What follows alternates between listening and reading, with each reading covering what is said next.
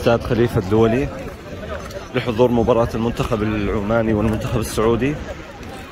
المباراة الأولى في المجموعة الأخيرة. كل التوفيق للمنتخبين العربيين في هاي البطولة. زحف جماهيري بصراحة مش طبيعي ما شاء الله. الملعب راح يكون فل.